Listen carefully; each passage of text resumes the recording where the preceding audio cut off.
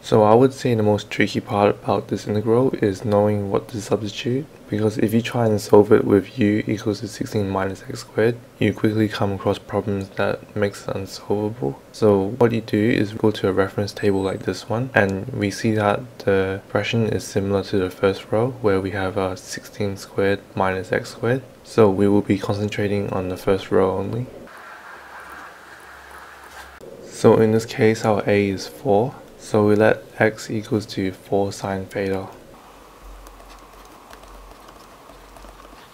So now if we substitute x equals 4 sine theta into our integral, we, we get 1 on the square root of 16 minus x squared. So x squared will be 16 sine squared theta.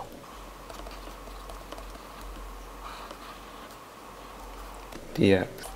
So if we want to get dx to change into theta terms, we find the derivative of this x term. So dx d theta equals to 4 cos theta.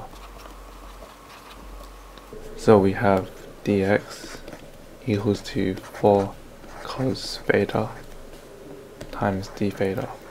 So rewriting our integral, we have changed dx to 4 cos theta d theta. We have 4 cos theta d theta over the square root of 16 minus 16 sine squared theta. So do you see how we have a common factor of 16 on our denominator? We can factor that out. 4 cos theta d theta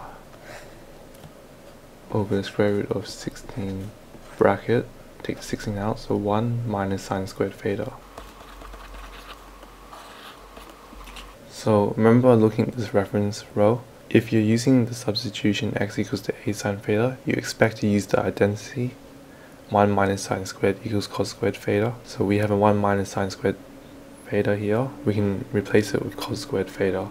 So we would get 4 cos theta d theta over the square root of 16 cos squared theta and if we take the square root of this whole denominator we get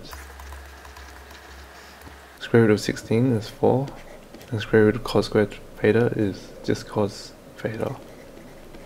So we're left with these two cancelling out. So we are just left with d theta which if you integrate that it would simply be theta plus c. So now we need to find theta to make it so that our integral is in terms of x's again. So what do we have here? We we said before x equals to 4 sine theta, so we have sine theta equals to x on 4. Therefore theta equals to the inverse sine of x on 4. So if we substitute this in, we get sine sine inverse x on 4 plus c. And that is our answer to this integral.